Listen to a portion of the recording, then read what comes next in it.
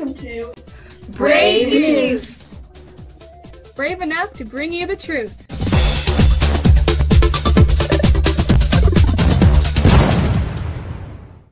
Welcome to Brave News. I'm Josie, and to start off today, Zicky and I are going to catch up on some Blanchet news that has occurred in the past few weeks. Thank you, Josie. Blanchet has been active on Instagram and Facebook, keeping us in touch with our community. Most recently, they have been congratulating and honoring our graduating seniors. Uh, in mid April, many people from the Brave community drove through the parking lot honking their horns to show their love and congratulations to our seniors. With four weeks left of your senior year, we wish you all blessings in your future endeavors.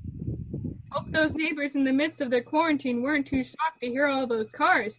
Must have brought some excitement into their quarantine, am I right, Zicky? That's right, Josie. Thank you. This week would have been the tech for the Blanchet musical, The Addams Family. To honor the tradition, the Thespian Council has led the drama department through a week of crew, cast, tech, and more theater memories. Yeah, thank you. We are all having a hard time, but uh, things got better when a surprise guest showed up to the Drama Book Club Zoom call last Tuesday. Uh, Alex Brightman, a successful Broadway actor who starred as Beetlejuice in Beetlejuice the Musical, showed up on Zoom as a high school friend of Mr. Bergin. He was more than pleased to talk to the drama students who were all quite shell shocked to find a theater star in their midst. Thank you. In other news, the Blanchet lunch staff has shared with us their sacred monster cookie recipe. If anyone is sitting around their house and gets a grumble, go make some of those delicious desserts.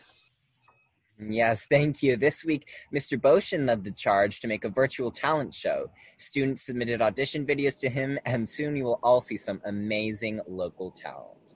Thank you, Zicky. Now on to our next segment with our own Mr. Bergin, the weather.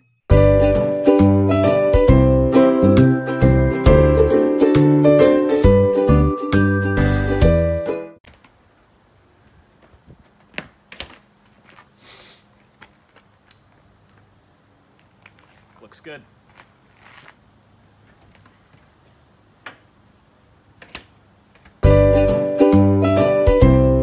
Thank you, Mr. Bergin.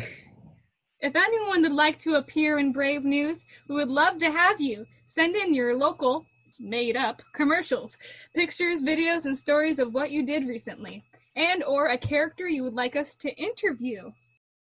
Thank you for watching Brave News. This is Zicky, And I'm Josie. Have a good rest of your day. signing off.